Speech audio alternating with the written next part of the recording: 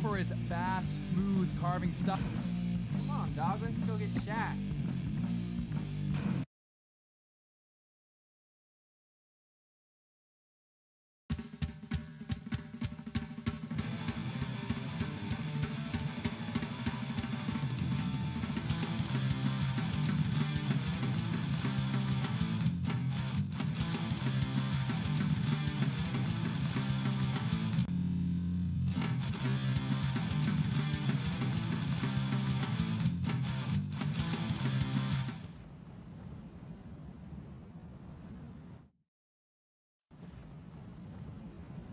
Night are double overhead with some swing wide sections out at Cloudbreak. Low tide, you better look out for those reef bouncers.